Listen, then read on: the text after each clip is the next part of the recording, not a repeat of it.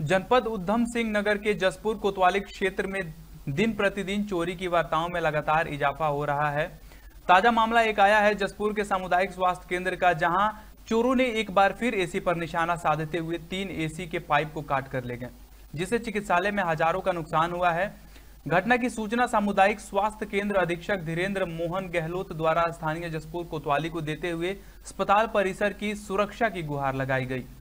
चिकित्सालय अधीक्षक ने बताया कि चोरी की यह पहली वारदात नहीं है, बल्कि इससे चार पाँच माह पूर्व चोरों ने अस्पताल को निशाना बनाते हुए एसी के उपकरणों को चुरा ले गए थे, जिनका आज तक कोई सुराग नहीं लग पाया था। शायद इसलिए चोरों के हौसले बुलंद होते नज़र आ रहे हैं, जसपुर से प्रदीप श्रीवास्तव की रिपोर्ट।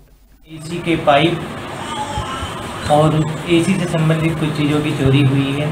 यह पहले दो चार महीने पहले भी हुई थी, पिछले साल भी हुई थी। लगातार उस इस तरह की चोरियाँ हो रही हैं। पुलिस में हम कंप्लेन करते हैं। वो आते हैं। सीसीटीवी की फुटेज भी दी हमने बीच में।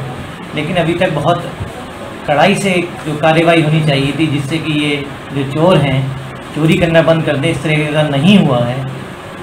तो मैं चाहूँगा कि इस तरह की कोई कड़ाई से कार्रवाई हो, जिससे कि आगे चोरी ना हो।